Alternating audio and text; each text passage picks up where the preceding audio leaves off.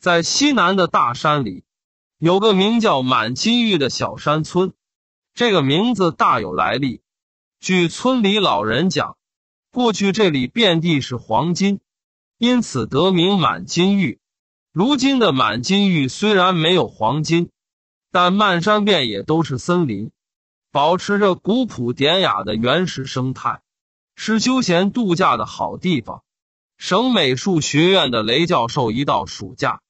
就会来到这里，一来消暑避夏，二来在这里可以找到一些奇形怪状的树根，用来雕刻。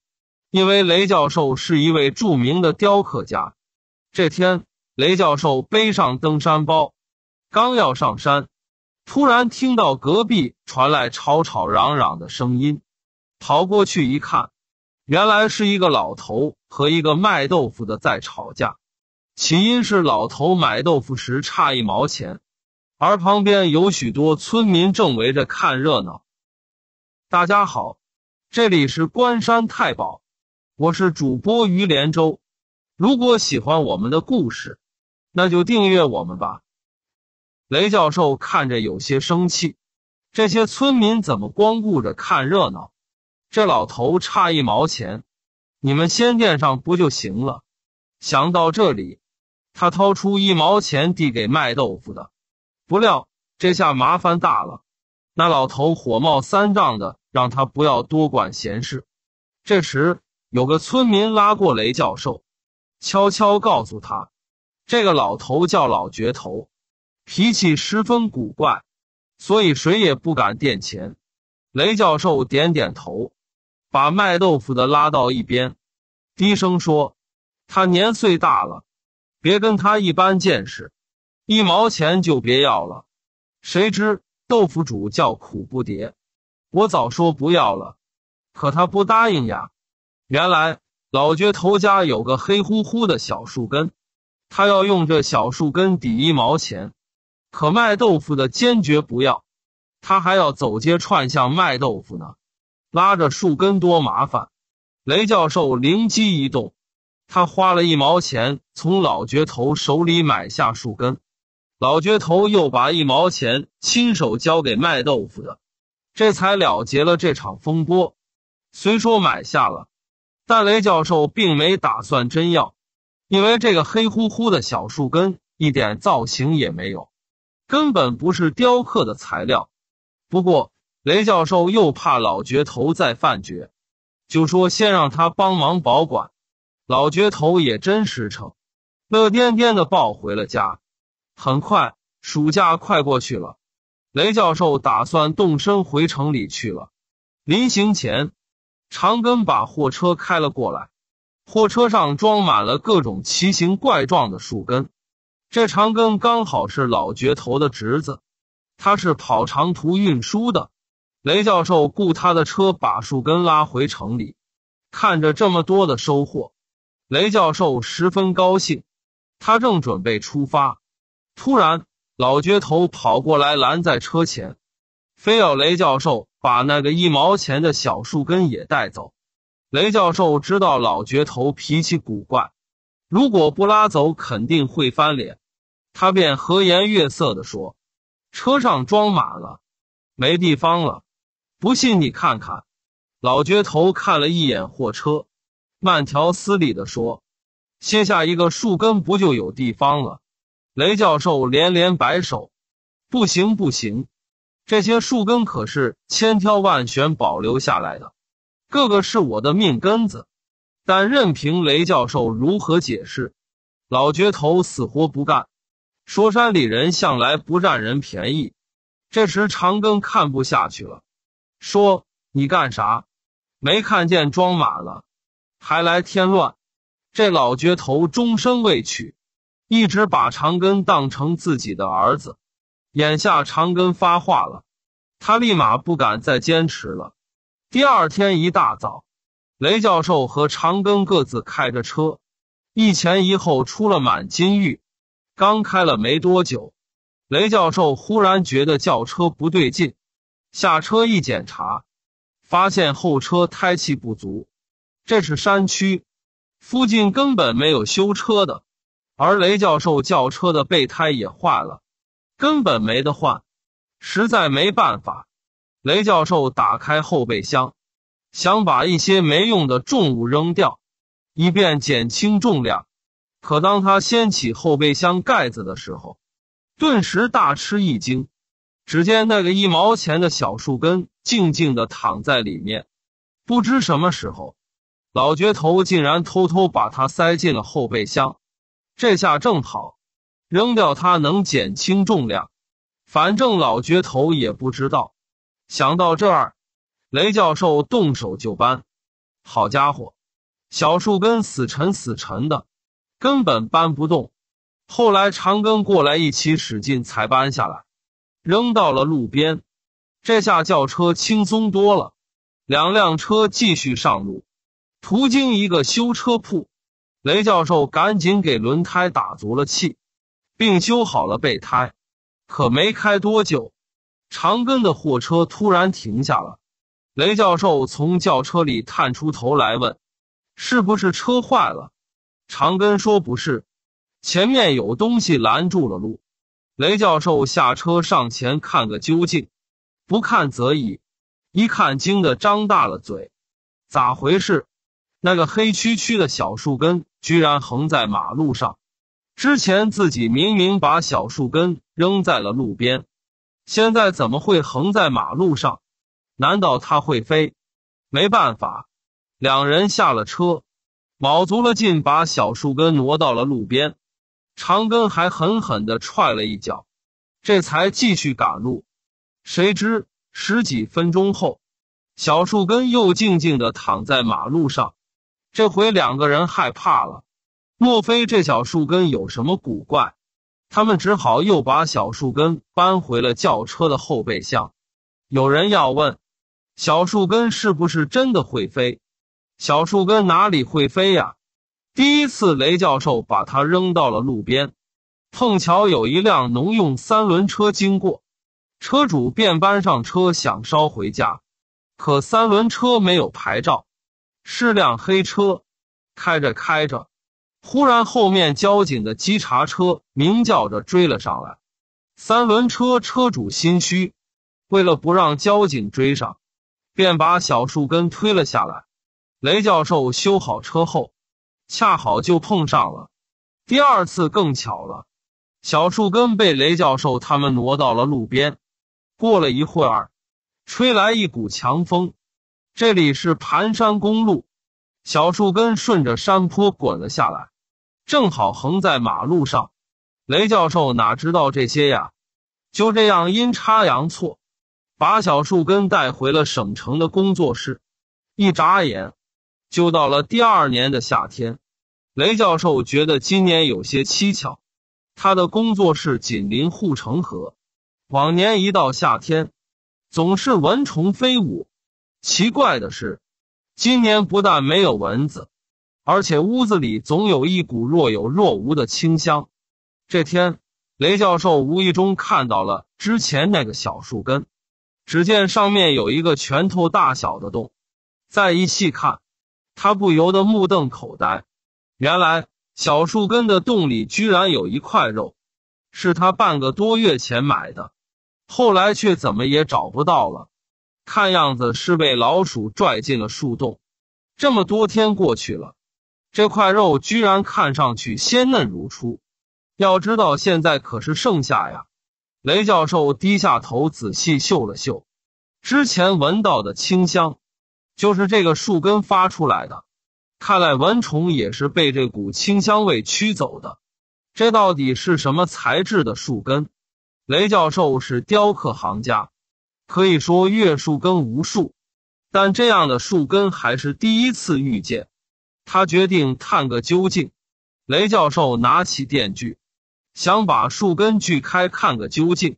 可电锯刚刚挨上，小树根立马腾起团团黑烟。雷教授吓得赶紧关了电锯，心想：怎么这样邪门？再一看，雷教授忽然乐了。之所以冒黑烟。是因为树根表面早碳化了，看来这是一个老树根了。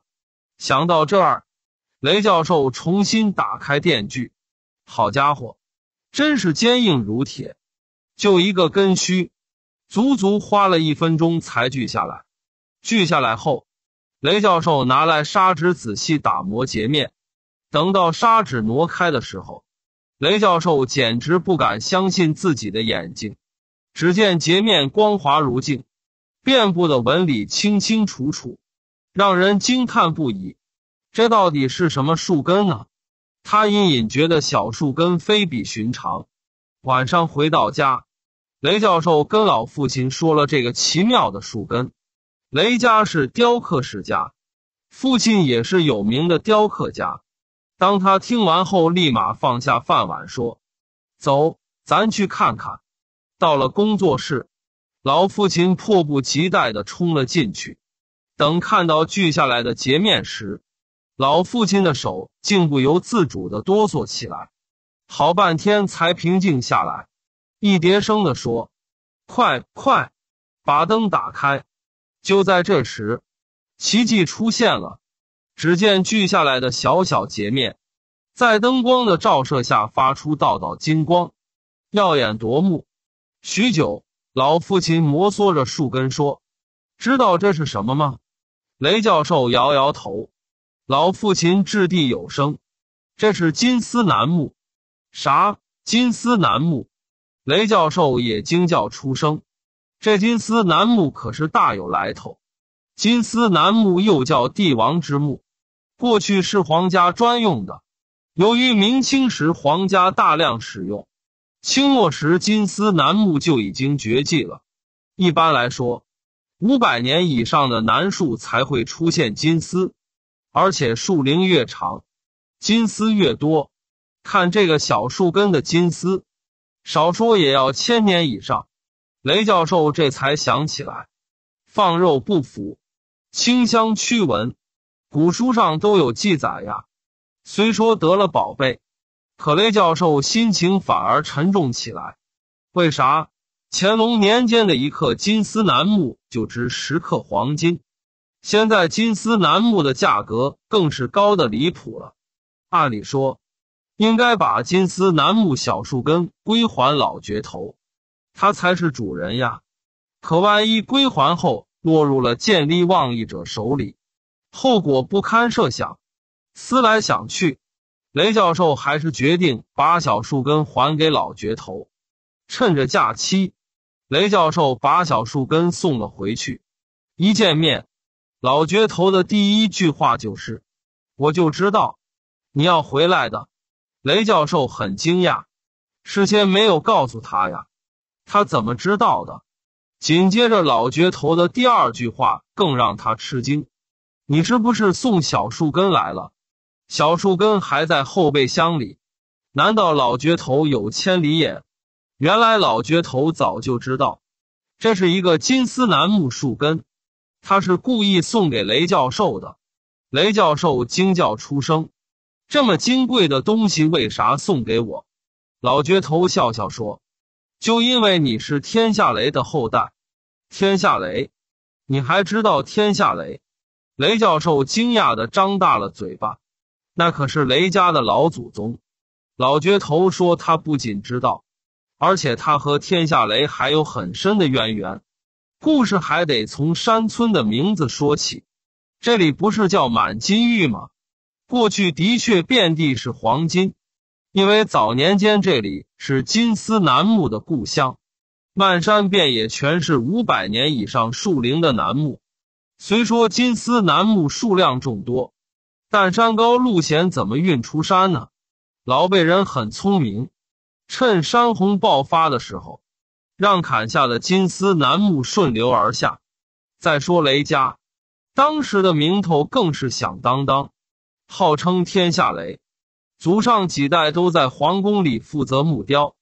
有一年，雷家的祖上来满金玉挑选木材，当时五百年以上树龄的金丝楠木已经凤毛麟角了，好不容易从深山老林里找到几棵后。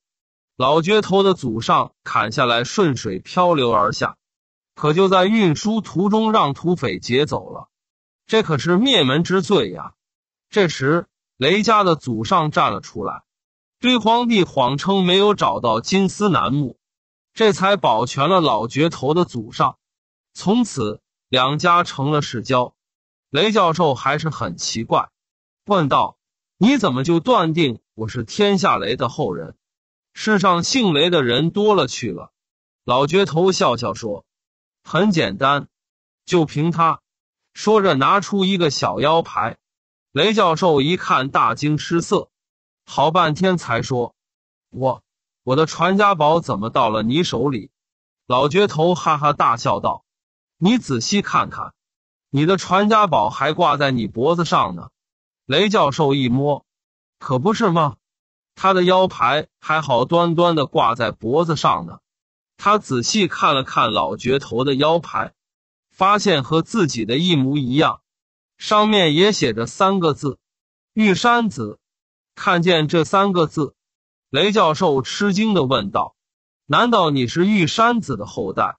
老绝头点了点头。原来老绝头的祖上就是专门给皇家砍伐运送金丝楠木的，因为金丝楠木不是谁都能砍伐的，于是皇家专门制作了玉山子腰牌。而雷家的祖上常常来挑选木材，因此也有一块玉山子腰牌，并且当成传家宝代代相传。老绝头刚认识雷教授时。就发现他脖子上挂着玉山子腰牌，而且还是雕刻高手，又姓雷，所以断定他是天下雷的后代。知道了事情真相，雷教授唏嘘不已。他想了想，又问：“既然你知道我是天下雷的后代，那小树根直接送给我就行了，干嘛要绕弯子？”雷教授这样一说，老绝头立马紧张起来。瞅瞅四下无人，然后小声说：“村里都知道我是玉山子的后代，有人还猜我家藏有金丝楠木呢。为此家里招过好几次小偷。我要明目张胆给你小树根，这不是不打自招吗？怪不得当初非要一毛钱卖给自己，又死乞白赖的让自己拉走。原来还有这么一段渊源。”不过雷教授还是胆战心惊。假如当初卖豆腐的真的拉走了，早就当柴火烧了。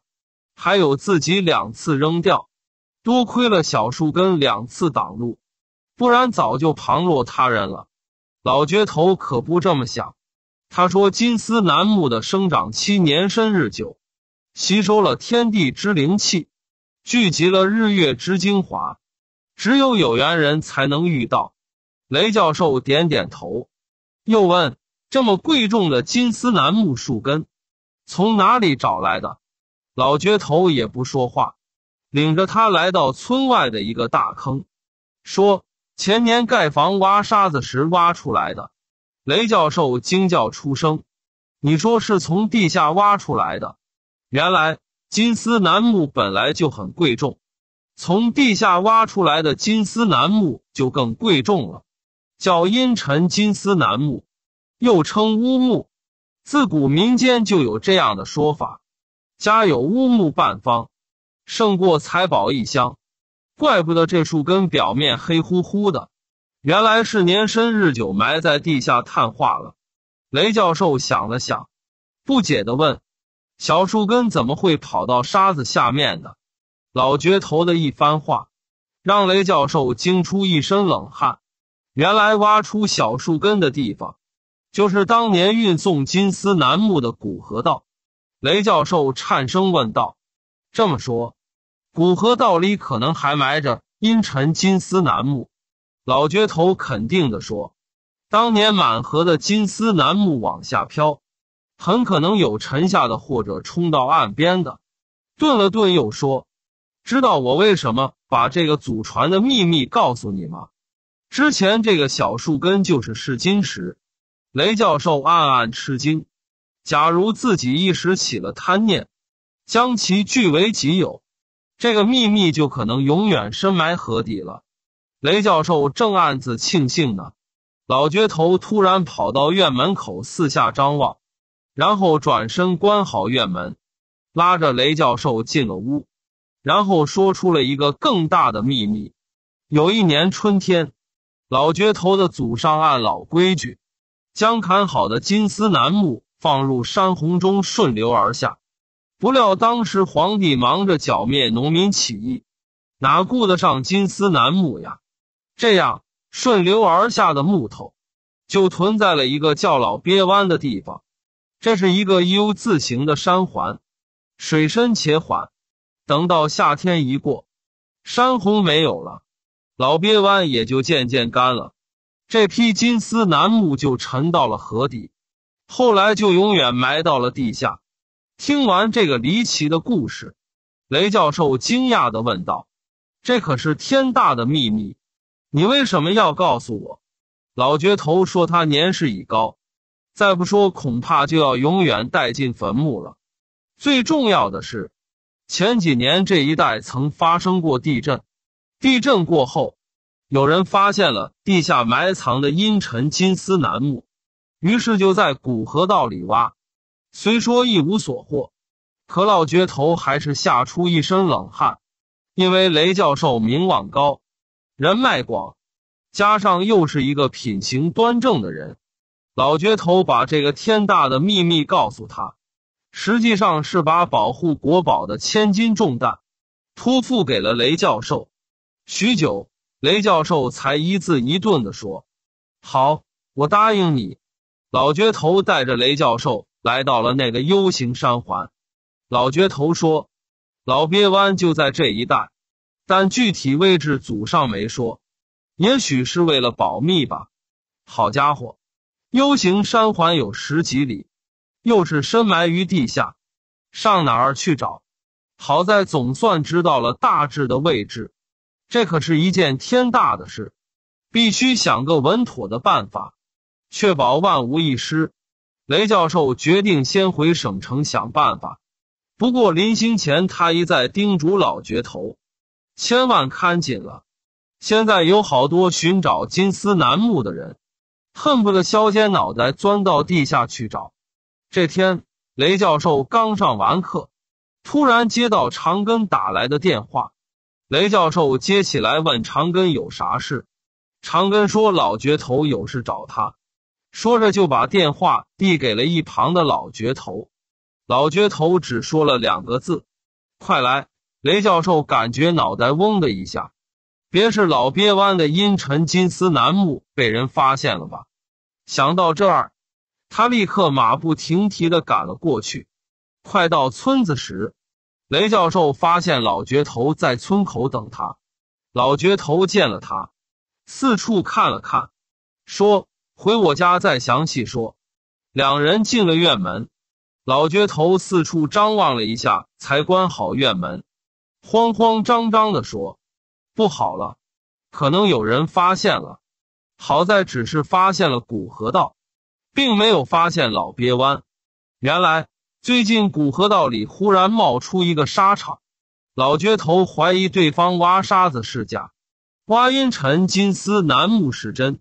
走去看看。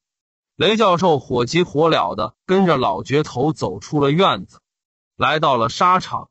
嚯，沙场里挖掘机。铲车、卡车来回穿梭，正热火朝天的干着呢。万幸的是，老鳖湾所在的 U 型山环一带还没有沙场。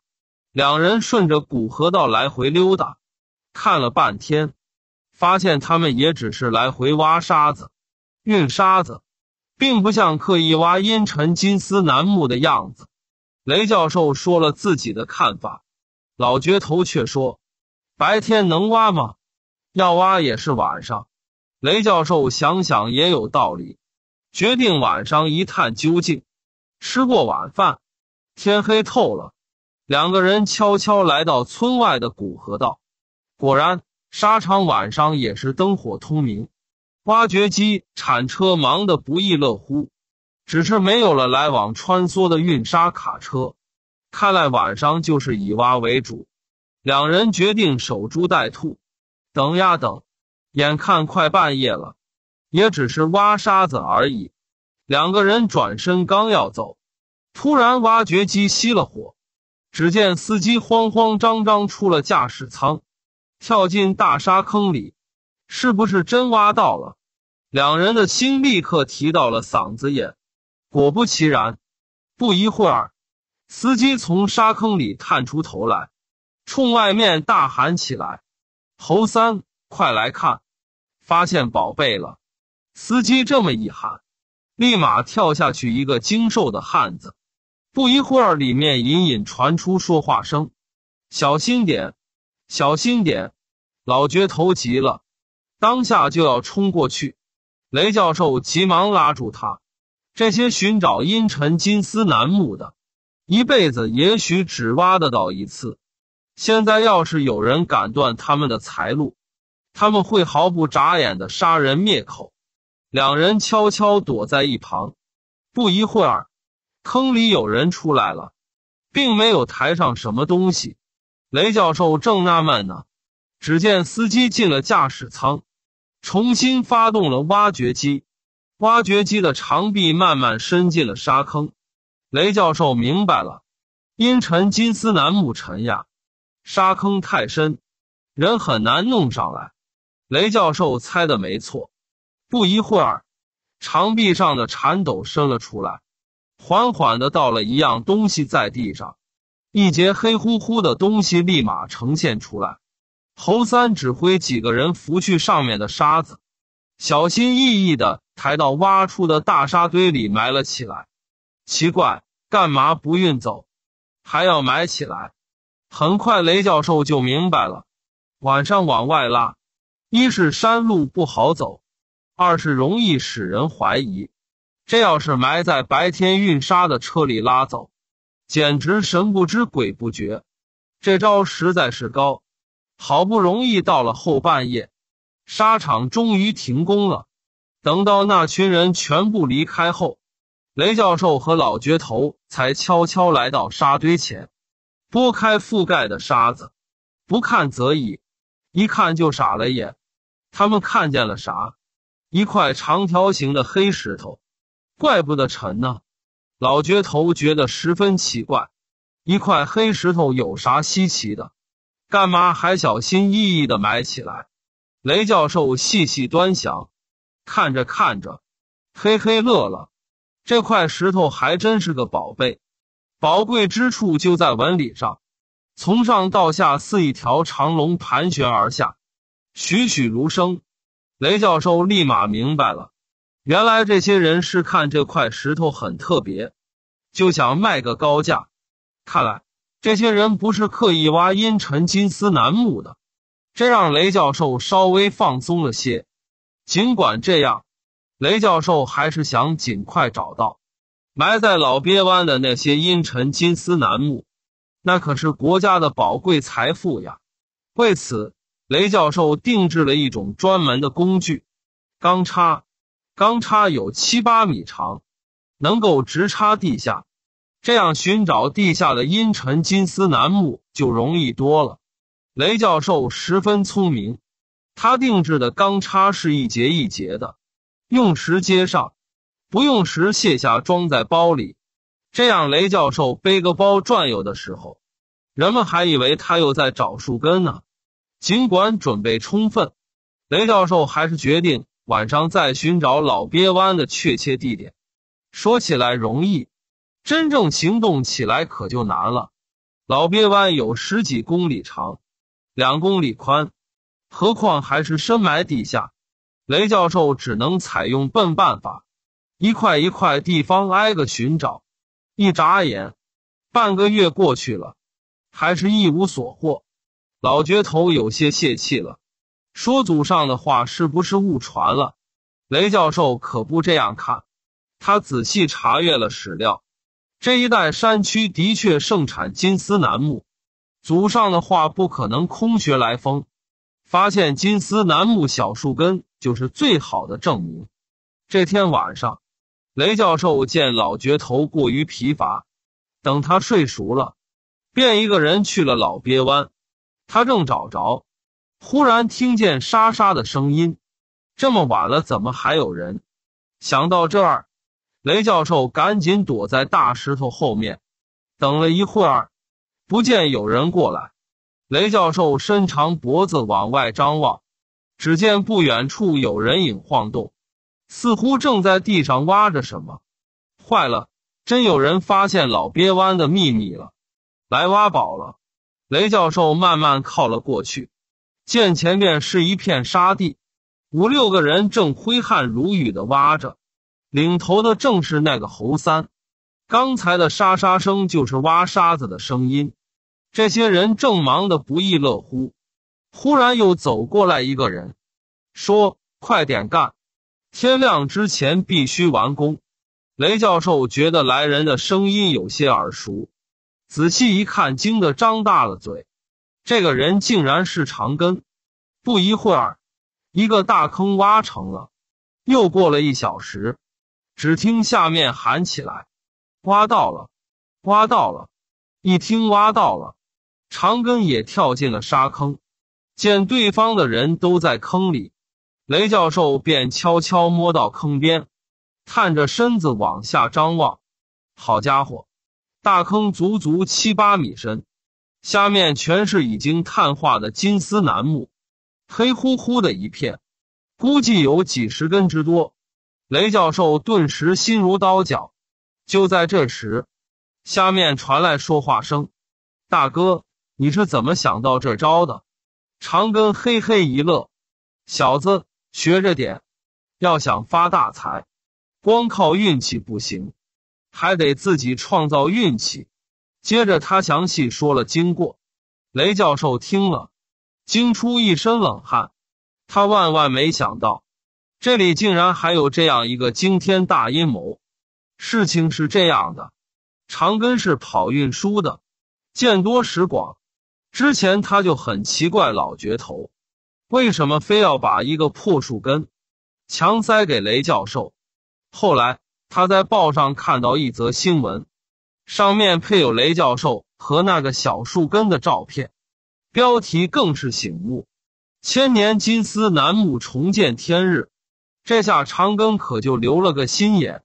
不久之后，雷教授回来送还小树根时。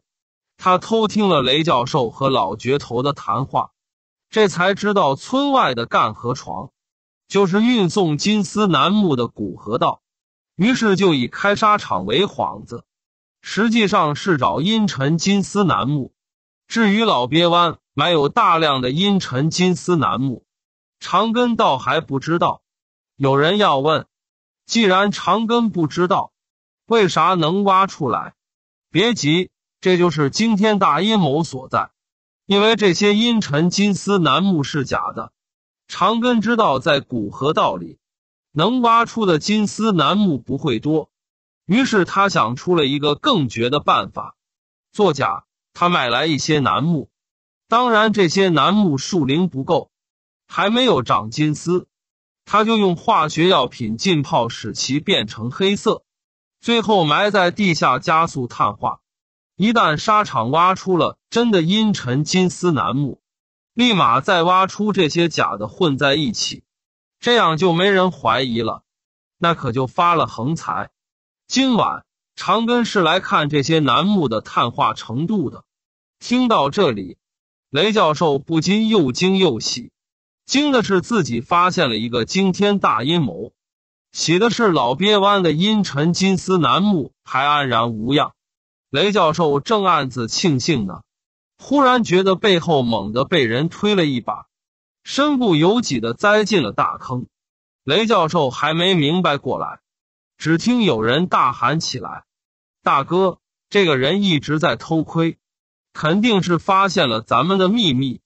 我把他推了下去。”长庚一看见掉下来的竟是雷教授，他不由自主的惊叫起来：“怎么是你？”雷教授生气的说：“对，就是我。好你个长根，看你老实巴交的，没想到竟敢偷挖阴沉金丝楠木。偷挖也就算了，你还作假，这可是犯法的呀！”此刻的长庚已经利欲熏心，哪管什么犯法不犯法的，谁要敢挡他的财路，他啥事都敢干。只见他嘿嘿一笑道。雷教授，你看到了不该看到的东西，听见了不该听见的事情，那就怪不得我心狠手辣了。说罢，命令众人给我埋了，这是要泄露出去，咱们都得完蛋。这帮人立刻在旁边挖了个坑，架起雷教授，把他推了下去。长根冷冷的说：“填沙。”很快，沙子便埋到了小腿、大腿。突然，雷教授喊了起来：“慢着！”长根让手下停了下来，皮笑肉不笑的说：“怎么，雷教授还有话说？”雷教授诚恳的说：“长根，咱是老相识了，过去我没亏待你，是不是？”听雷教授这么一说，长根面容和缓了许多。他蹲下来说：“雷教授，你是城里人，又是大教授，可一点架子也没有。还记得我上次帮你拉树根吗？你死拉硬拽，非要请我到你家里吃饭。我知道城里人都不喜欢往家里带人，更别说吃饭了。你是把我当成了亲戚。说实话，我真不该。”说到这里。他的眼圈泛红了，但是长庚话锋一转，这件事情太大了，我的身家性命全押上了，不能出现一丝闪失，实在对不起。说罢，他把脸别了过去。看来今天彻底完了。不过也好，老鳖湾埋着千年的阴沉金丝楠木，有这些宝贝陪着，也算是死得其所。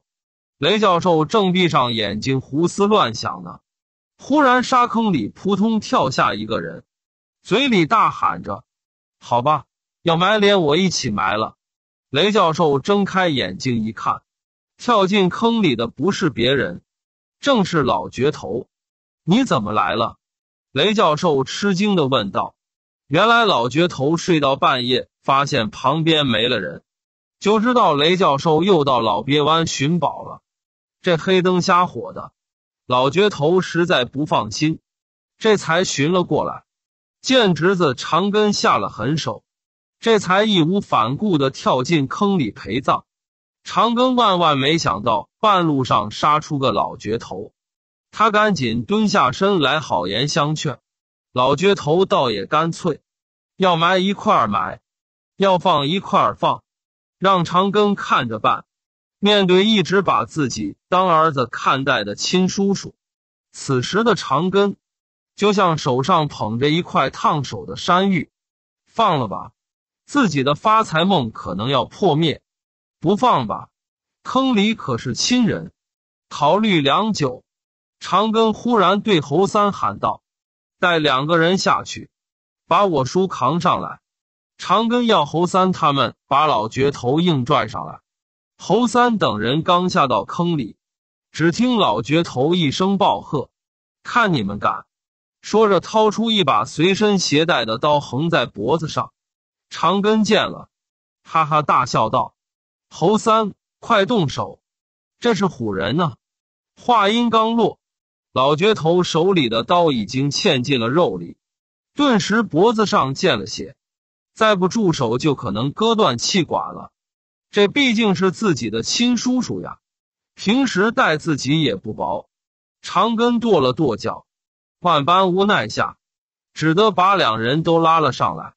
老倔头怕长根耍花样，斩钉截铁的说：“长根，你要是再敢对雷教授下黑手，我就一头撞死，你信不信？”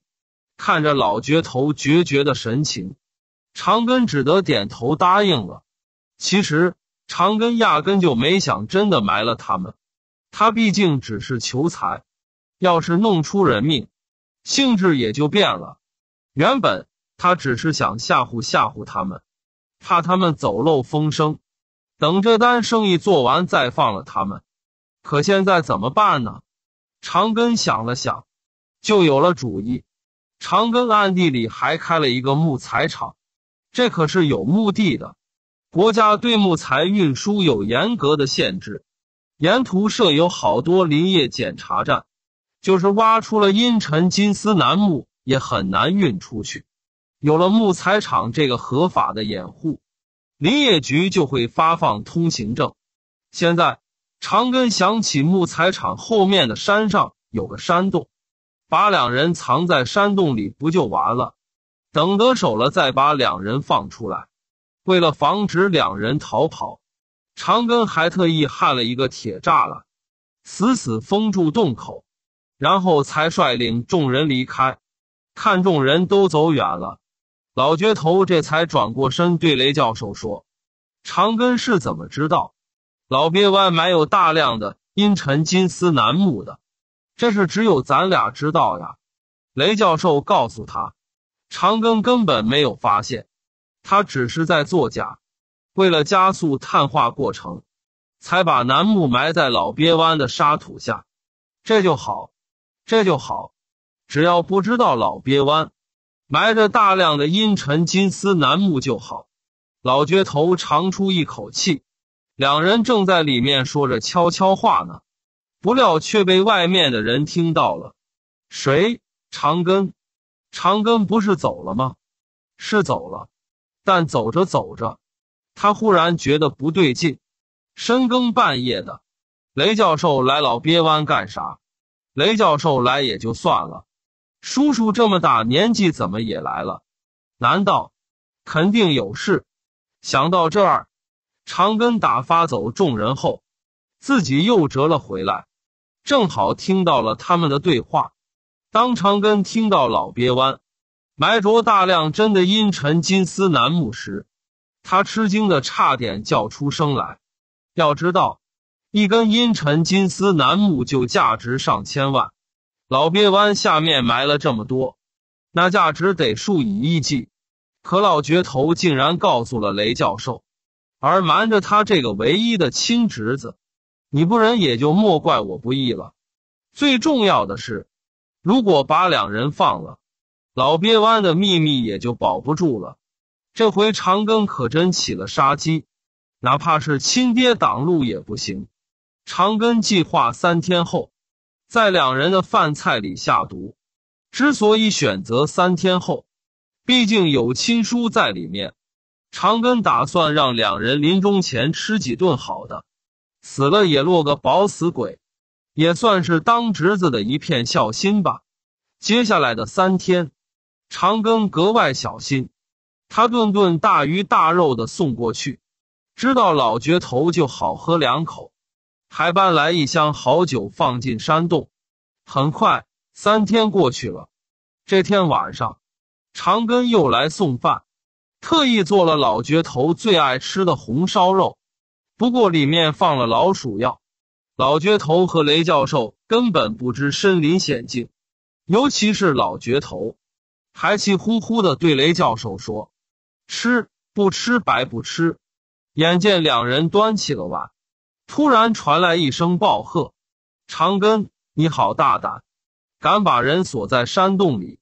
长根扭头一看，顿时吓得魂飞魄散。雷教授和老觉头也吓得手一哆嗦，碗啪的掉在了地上。原来是警察赶到了，在警察凌厉的逼问下，长根没办法，只得竹筒倒豆子，把事情的经过一一全抖落了。最后不甘心的问道：“你们是怎么发现的？”警察哈哈大笑，一番话说的长根目瞪口呆。原来这几天一到晚上，山洞里就发出亮光，山下的村民看得真真切切。有胆小的村民以为山上闹鬼，就跑到派出所报案。碰巧派出所这几天正在抓捕一个逃犯。听说山洞里晚上会发出亮光，他们猜测会不会是逃犯在生火做饭，于是寻了上来，没想到把长根给捉住了。奇怪的是，自从雷教授和老觉头得救后，到了晚上，山洞再也不闪光了。山里的百姓传的神乎其神，都说雷教授和老觉头是神仙附体。这才出现如此灵异的事情，只有雷教授心里清楚，这是金丝楠木显灵了，就是那块传家宝玉山子腰牌救了两人的性命。那腰牌可是用上等的金丝楠木制成的，夜晚在灯光的映照下，能发出道道金光。山洞里本没有灯，可那几天晚上，天空中总是电闪雷鸣，腰牌在雷电的映照下，更是熠熠生辉。这就是山下的人们能看见山洞里闪光的原因。很快，长根被判刑入了监狱。自此，老觉头一病不起。不久之后，便溘然长逝。雷教授悲痛欲绝，说：“到底是自己害了他们呀！”为了赎罪，他把那个阴沉金丝楠木小树根悄悄埋在了老觉头的坟里。现在，只有雷教授知道老鳖湾的秘密了，可他却永远埋在了心底，因为他知道秘密一旦泄露出去。将会引发一场更大的血雨腥风。好了，今天的故事就讲到这里。喜欢的话，请给我点个赞，别忘了订阅和分享。谢谢你的支持。